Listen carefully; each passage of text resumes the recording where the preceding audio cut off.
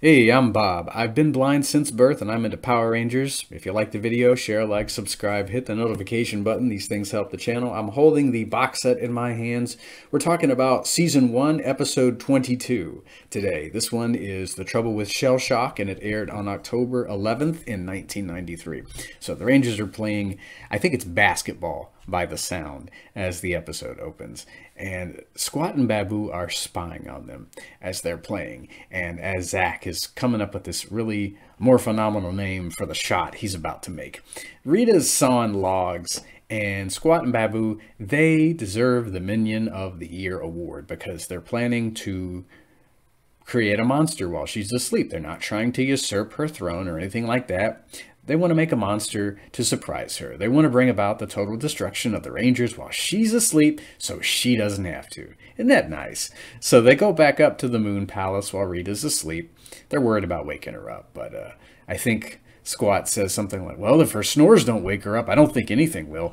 So they go into Finster's workshop and they actually make their own monster out of Finster's clay. And they get him into the monster matic all right. They don't overcook or undercook the monster, he pops out just fine. And we have Shell Shock, a turtle monster with a traffic light on either his back or his head. I don't know where the traffic lights are, but uh, pretty interesting looking monster, I would say. And yes, Hasbro should make that. He'd be an awesome monster to add to the Lightning collection, or maybe Super 7 could uh, could tackle Shell Shock. He'd have some interesting accessories, like a baseball bat and a baseball. No peanut butter and jelly though, I guess. Uh, he has he could have some blast effect pieces, a a red lightning piece and a green lightning piece for his stop beam and his go beam. And uh, let's see what else. I think he has a hook that he can wield, and he has a shell cannon that he can fire. So some interesting uh, accessory pieces for a lightning collection or Super Seven figure there. Awesome. And the Rangers finish their game. Bulk and Skull show up, try to cause trouble, but uh, they wind up making a hot dog vendor mad at them because I think they destroy his cart, and so they got to work for him for the next two weeks. Then the putties show up because Squatt and Baboo have, have thought ahead. They're going to try to soften the Rangers up with putties. Of course, the the putties lose, and I think the I think the two minions have a good cry for a few seconds, but then they send shell shock, and things get real.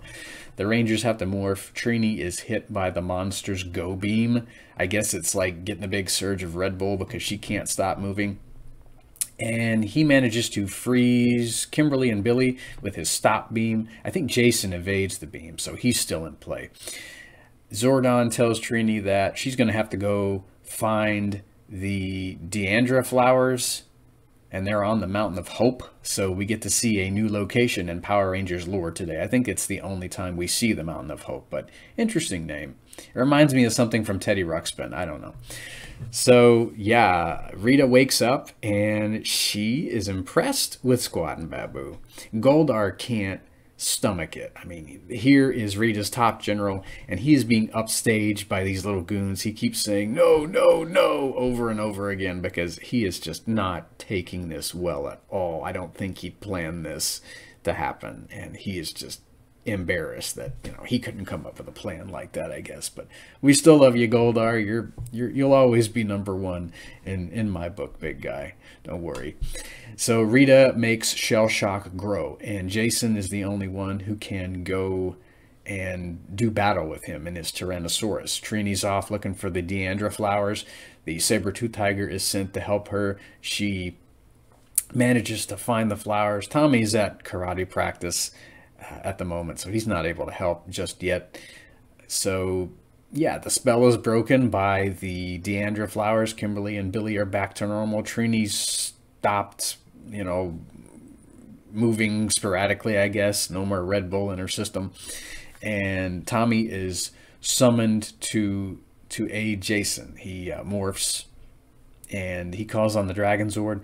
They they uh, they fire a, a, lot of missiles at Shell Shock, a big missile barrage there, and then Tyrannosaurus uses his fire attack and no more Shell Shock. So poor Squatt and Baboo, they they failed, but you got to give them credit for trying. They uh, to me they're far better than the minions from Despicable Me. They they almost almost managed to pull this one off. So, way to go, guys. Way to go. Hasbro, you guys should totally make a Squatt and Baboo two-pack in the Lightning Collection too. These guys, they they deserve a lot of TLC. They, they, they really tried hard. You got to give it to them. So the episode ends with the Rangers, you know, playing more basketball. So that will do for the trouble with shell shock. And next time we'll be taking a look or a listen or whatever at uh, Itsy Bitsy Spider. And if you guys have arachnophobia, we'll get through it together. It's it's not not going to be that bad. It's a kid show after all. So I will hear you guys in the next video. Have a good day.